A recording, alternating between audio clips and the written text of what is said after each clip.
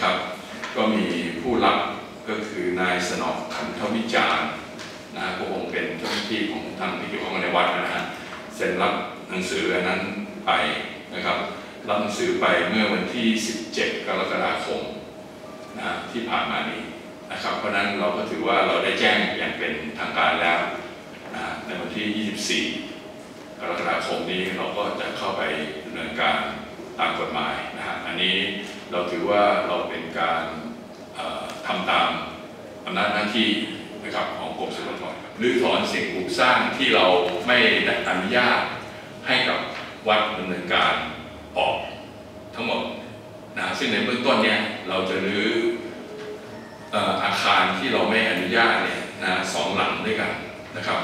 คือทั้งสองหลังเนี่ยนะครับจะเป็นลักษณะของอาคาร เป็นศาลาทรงปัญญานะครับ กับศาลาเสรีกุลข้อแม้หรือมีข้อบังคับให้ทำอะไรก็ต้องทำตามนั้นนะฮะเพราะนั้นอันเนี้ยเราก็ถือว่าเราได้แจ้งวัดไปตั้งแต่ 2552 และ53 นะครับ ก็มีคำพิพากษาของศาลปกครอง มาว่ากรมศิลปากรมีอำนาจ ในการประกาศขึ้นทะเบียนตามมาตรา7ทวินะแล้วก็ขอให้กรมศิลปากรนั้นดำเนินการตามอำนาจหน้าที่ของตัวเอง ทางกรมศิลปากรเราเนี่ยนะได้มีการแจ้งเป็นหนังสือไปทางวัดนะครับว่าสิ่งที่ทางวัดทำนะในเขตพื้นที่ของวัดกัลยาณมิตรซึ่งกรมศุลกรได้ประกาศขึ้นทะเบียนมาตรฐานไปแล้วนั้นนะครับเป็นการทำผิดต่อกฎหมายนะตามพรบร บราณวัตถุศิลปวัตถุและพิมพ์สายชาติพศ2504 แก้ไขเพิ่มเติม 2535 นะขอให้วัดนะครับยุติการดำเนินการและให้รื้อถอนสิ่งปลูกสร้างที่กรมศิลปากรไม่ได้อนุญาตให้ดำเนินการก่อสร้างออกไป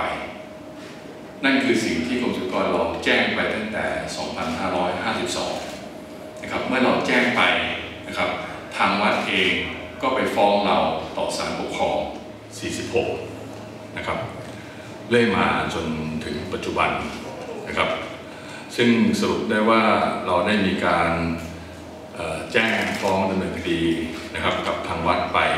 หลายคดีด้วยกันนะครับ ก็มีทั้งที่อายการ